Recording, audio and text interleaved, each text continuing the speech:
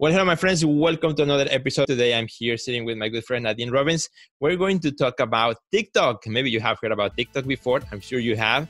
So let's talk about why artists, you know, should consider looking at TikTok seriously. Resources, inspiring interviews, business practices, and practical advice to take your art career to the next level. Join Sergio Gomez in today's Artist Next Level and get ready to take control of your career.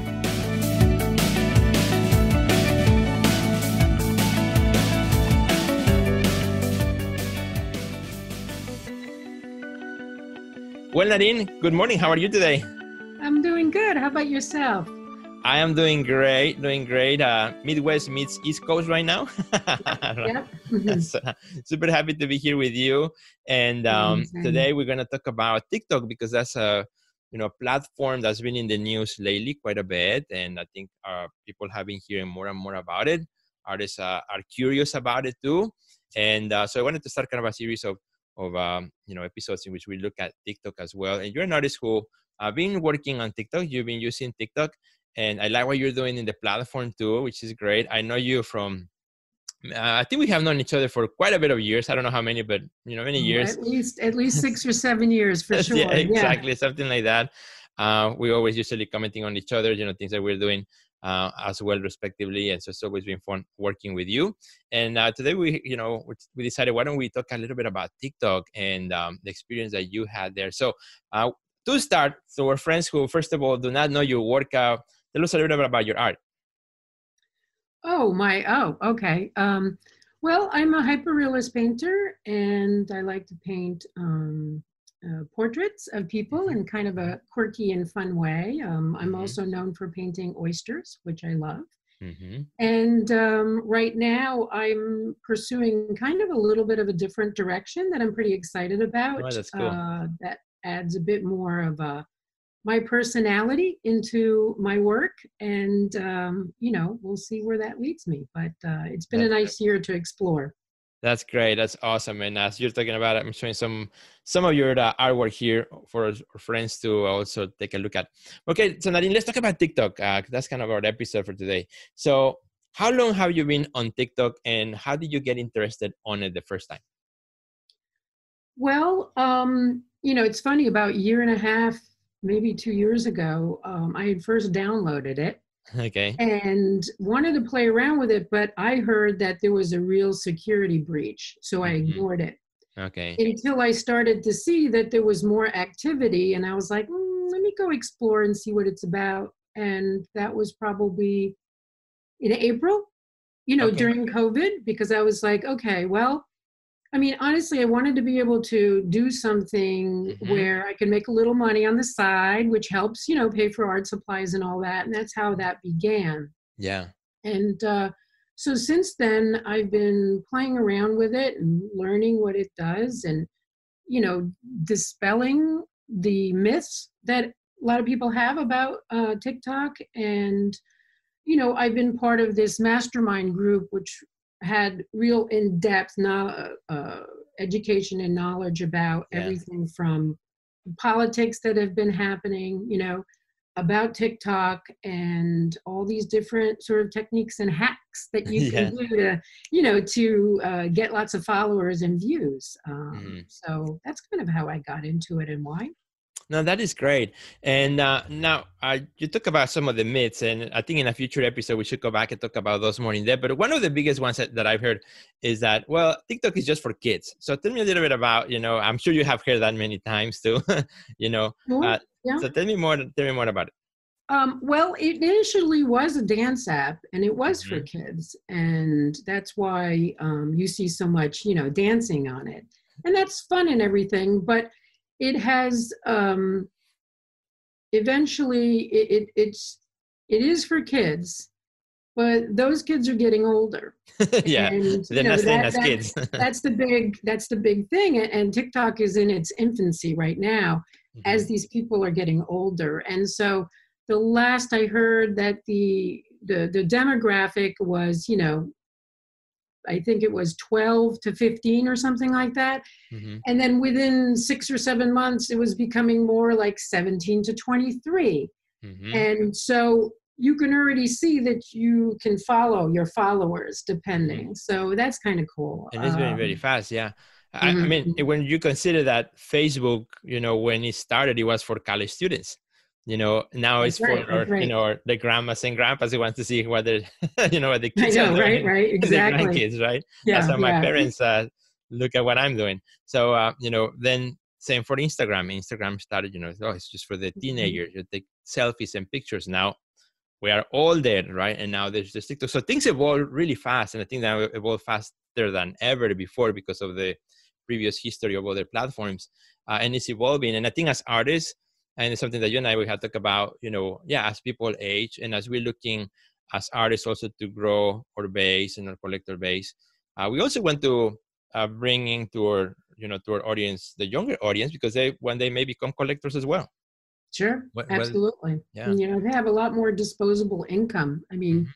I I've found that you know um, some of the followers that I have, if they want to print, they're happy to drop you know 50 70 dollars. I know that's not a lot for a print, but they're younger, right? Exactly. But they have that type of disposable income. And that's how they And- start.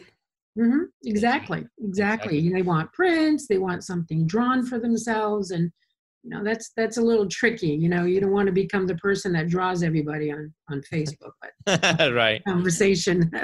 So, I mean, Larry Larry Gagosian, he started selling posters.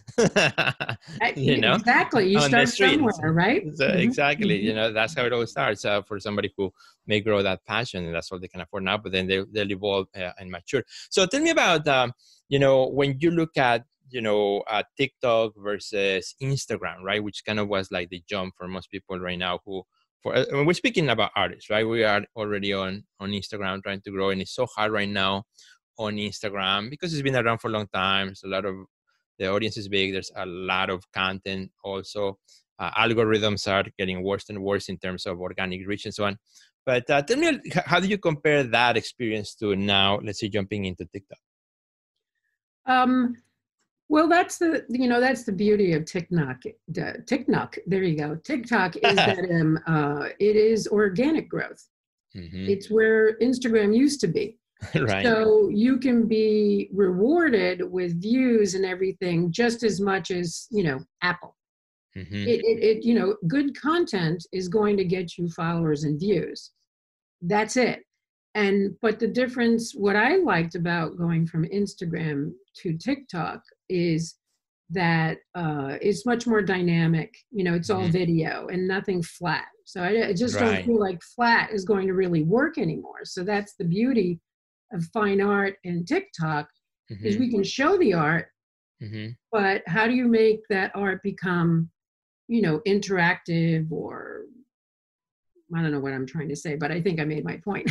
yeah, yeah, no, no, Yeah. totally. Yeah, I mean, and, and there's something about us when we look at a device and something is moving. There's motion, and within that motion, uh, what I love about TikTok is uh, when I look and there's like storytelling. You know, also within those Exactly. 15 seconds or 30 seconds or 60 seconds, you know, which is the maximum of the TikTok uh, video. But you know, even the short ones, sometimes this storytelling. We were talking about like the reveals, like wait for it, or it's coming, or something's about to happen, and you're waiting for it. And there's been like and there's some of them like and you're waiting and not, never nothing happens and you're like ah you know it makes you come back for more right Mhm, mhm, So, mhm. uh, there's also that kind of uh, seed Yeah. of, that puts in your brain of uh, intrigueness of you want to look at more and more Uh, and, Yeah. and- and i mean I those platforms for that Mhm. Yeah, I mean, Instagram is still really valid. You know, I'm not saying that we don't want to, you shouldn't Right. use that. I just think that, you know, and this Reels, which is now direct competitor of TikTok, uh, but very limited in what Yeah. it can do and compare, you know, TikTok is much more robust. right Um, but that's, you know, I think the beauty of having both. And also, Mm-hmm. wait, I, you know what? I will give you the an important tip is that Yeah. TikTok encourages sharing on all other platforms. Mm, So having a lot of your followers on TikTok, they expect to share wherever people, and people don't have to have the app necessarily to see those videos. all right so you So can make a tiktok and share it to your facebook you can share it to your Absolutely, they can see it, or you know, I'll text it to people, you know, video that I like, and they can click and open it up, but yet they don't even have an account. That is great. So it, you know, you don't have to have. So it's. Um, I, I like the fact that it's organic, that you can easily share anywhere, and that they encourage it. And you can bring people from TikTok now back to, excuse me, Instagram back. I mean, there's. I, I'm I'm going on and on, but there's a lot. It's it's it's uh, it's refreshing. Yeah. You know, I, I Instagram has gotten really stale, and and when they right. changed the algorithm, I think it was you know personally I think it was a big mistake. Yeah. And, uh, but that's you know Exactly. No, I think there's a lot of meat that, that we can really break into different episodes and talk about. I know. It's sorry. I, I, I've been getting great. so into it lately, yeah. you know, that I'm like, it's start, it's hard for me to keep it short, but. Yeah, well, let, us let's, let's talk about one more thing and then uh, we'll say goodbye for friends for now. Okay. And of course, I will have you back in another time. So continue talking. I know Definitely, a of, there's a lot to talk about. Yeah, yeah. a lot of testing, but let's talk about maybe one of your best performing posts on TikTok. If you can describe it, I'm going to show it here on the side. What's one of your best, uh, uh you know, performing posts on TikTok? Uh, how well it went and what is it? Which one are you going to show? You pick. You tell me which one you want. okay. Okay. So there there are two of them, but I would say that the first one that really went uh, viral was um, my doing a reveal. Um, actually, not exactly a reveal of my oyster painting. Mm-hmm. What I did, and I, I, think I know why it succeeded, is I showed a, the painting and kind of brought it closer to the viewer, mm-hmm. and just and I had a call to action which told them check out the spoon. And I said clearly, I said my uh, my client who hired me asked me to put the kitchen in the spoon, and people were like, "What?" and I made it fairly short, right? Eight seconds. Um, eight seconds. Eight seconds. So at a minimum, eight seconds uh-huh. uh, is a good number to go by. So eight seconds they looked at it. And what i did is that i at the end people wanted to rewatch it because they didn't quite see it right? So I, I made the video so that they couldn't really exactly see it. So they had to uh-huh. see it again. Again. And that's the key with tiktok is that if you get repeat views then it shots it shoots up to the for you page. So how many views did you have on that one it's a good question. I think I'm up to, is it a million? That one has 800,000 maybe. Wow, almost a million views. That's incredible. It, it really is. And, and, but I think that, um, yeah, I think there's that one. There may be another, but, but you know, but a million views. You could have never get that on Instagram, right? Never. So no. uh, forget about Facebook. But uh, now on TikTok, let's say a post like that. Uh, on Instagram, Facebook, you know, posts die fairly quickly on Instagram, is it still fresh content, even though you did it a while ago? People still watch it. Oh, what do you? Oh, you're asking if I posted that video on Instagram? No, meaning like meaning like a, a posting a regular post that we do on Facebook or on Instagram, it dies fairly quickly. Like you know, yes. it, it's gone. You know, after maybe a couple days that nobody's going to look at it again. But how about on TikTok? Do they live longer? Oh, yes, yes, exactly. So I'll give you an example. You, if you make a post uh-huh. And within the first, let's say, half an hour, well, first hour, you have at least 400 to like a thousand views. Uh-huh. TikTok's going to reward that because they see, oh, they like that. Somebody's interested in it. So after a little while, not necessarily the same day or the second, you know, you will find that all of a sudden it goes back onto the For You page. And mm. now TikTok is going to show it to people from a thousand to 10,000 people. Got it. And as you progress, the more and more people like it, then you go into 10 to like 40, 50,000.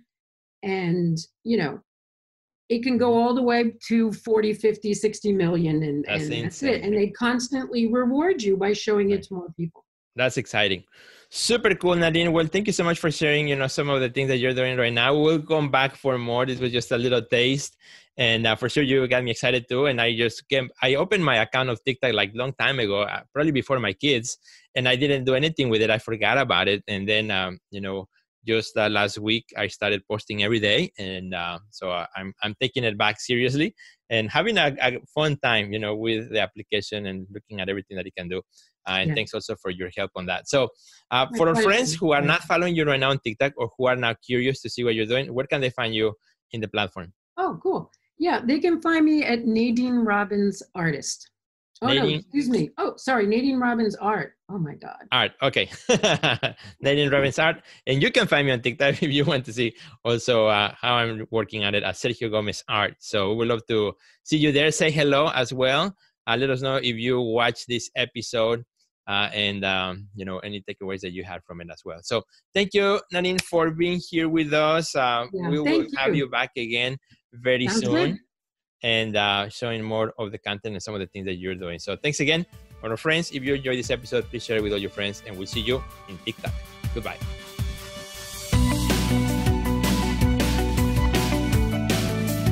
Check out our website at www.theartistnextlevel.com, where you will find our podcast library, learn about our upcoming webinars, find resources relevant to your career, and much more. Thanks for listening to today's podcast, and we'll see you at the next level.